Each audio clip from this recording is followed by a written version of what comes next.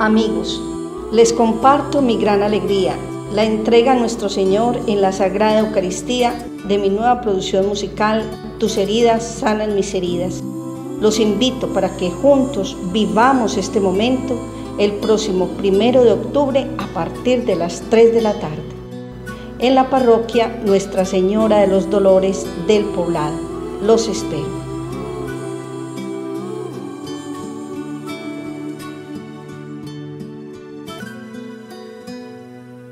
Espíritu Santo de Dios, Espíritu Santo